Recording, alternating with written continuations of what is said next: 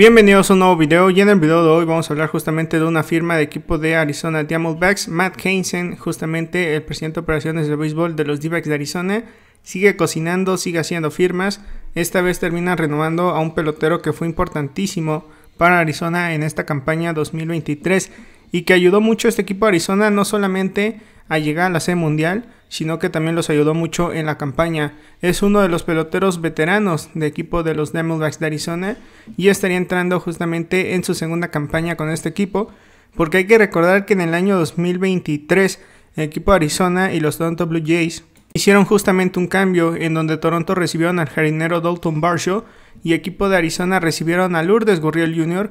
y al catcher titular Gabriel Moreno.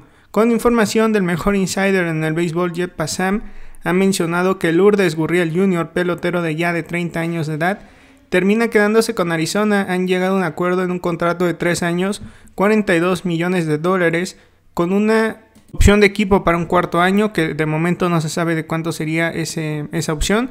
Algo que también menciona Jet Passam es que la firma también incluye un opt-out, en donde básicamente Lourdes Gurriel Jr. terminando la campaña 2024 tendría la oportunidad una vez más de ser agente libre o de mantenerse con Arizona y cumplir los dos años o hasta tres años que le restarían de contrato. Y vamos a hablar justamente de los números de Lourdes Gurriel Jr. Este pelotero va a cobrar 14 millones por año. Y en su primera campaña con Arizona, 261 de promedio, 24 jonrones, 82 producidas, 5 robadas y OPS de .772 en 551 turnos. Sus números de por vida hay que recordar que él inició su carrera con Toronto del año 2018 al 2022 y justamente para la campaña 2023 lo mandaron a Arizona. Los números de por vida, 279 de promedio, 92 jonrones, 336 producidas, 19 robadas y OPS de punto 790. A mí me parece una firma buena, me parece una firma que se tenía que dar. Equipo Arizona no podían darse el lujo de justamente perder a uno de sus mejores peloteros. Y eh, Lourdes Gurriel Jr. la verdad es que tuvo unos playoffs muy sólidos. Terminó bateando para 273. Se ponchó 13 veces, 11 producidas, 2 bases por bola. Terminó pegando 3 honrones, 3 dobles, 30 turnos, 18 hits.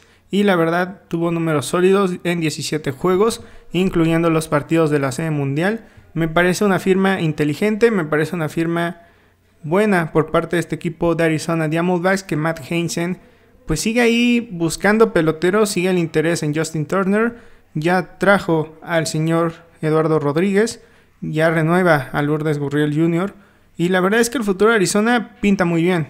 Eh, Lourdes Gurriel Jr. tenía varios equipos interesados, los últimos dos que salieron fueron los Blues de Toronto y también los Marrojas de Boston y los Yankees, al final terminan justamente los D-backs de Arizona Aprovechando que esos equipos están negociando por Yamamoto, pues terminan aprovechando esa oportunidad y dicen, ¿saben qué? En lo que estos equipos están interesados en Yamamoto, pues voy a traer de regreso a Lourdes Gurriel Jr.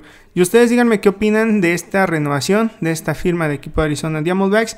3 años, 42 millones con una opción de equipo para un cuarto año y tiene justamente la opción de salirse terminando la campaña 2024.